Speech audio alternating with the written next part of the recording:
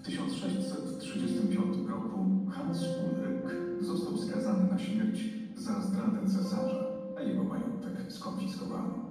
W późniejszych latach syn straconego Krzysztof Leopold i przywilej połączenia jego herbu z herbem Piastów Śląskich. Szarloczowie stali się w ten sposób depozytariuszami tradycji piastowskiej na Śląsku.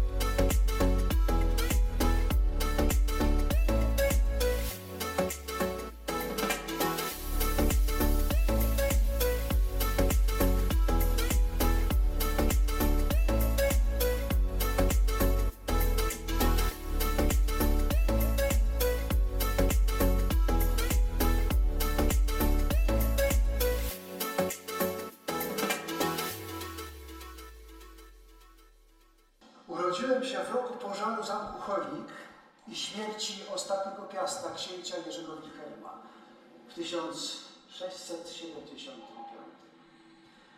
W wieku 33 lat uzyskałem od cesarza tytuł hrabiego i przywilej połączenia mojego herbu z herbem piastów śląskich, co zrównało mnie z książętami na Śląsku.